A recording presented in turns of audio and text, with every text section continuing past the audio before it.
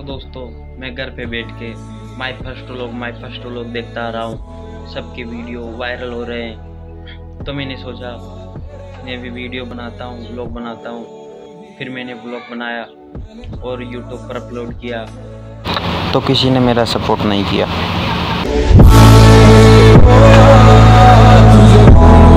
और ऐसे ही मेरी वीडियो पे हर बार दस पाँच व्यू जाके रह जाते हैं।